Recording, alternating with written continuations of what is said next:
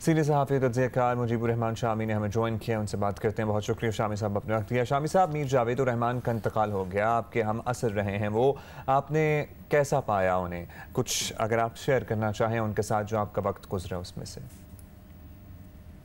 میر جاوید رحمان، میرے ہم عمر بھی تھے، ہم اثر بھی تھے، لیکن میرا ان کا ابتدائی تعلق ایک آجر اور اجیر کا تھا۔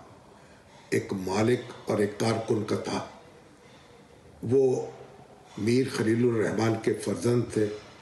ہفت روزہ اخبار جہاں کے جملہ امور ان کے سپر تھے۔ انتظامی بھی اور عدارتی بھی۔ اور میں اس ہفت روزے کے شعبہ عدالت کا ایک رکن تھا۔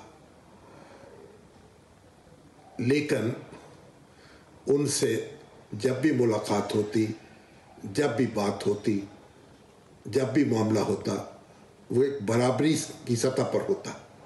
انہوں نے کبھی اس کا احساس نہیں ہونے دیا کہ ایک مالک ہیں، منتظم ہیں۔ وہ اپنے آپ کو کارکن سمجھتے تھے اور کارکن کے طور پر اپنے ساتھیوں سے پیش آتے تھے۔ وہ ایک منقصر المداد شخص تھے۔